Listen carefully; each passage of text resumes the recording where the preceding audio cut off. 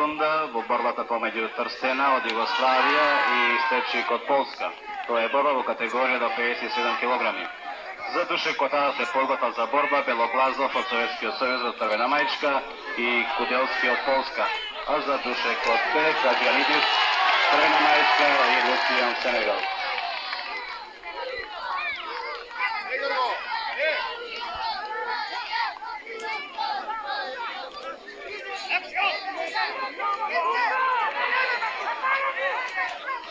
Thank you.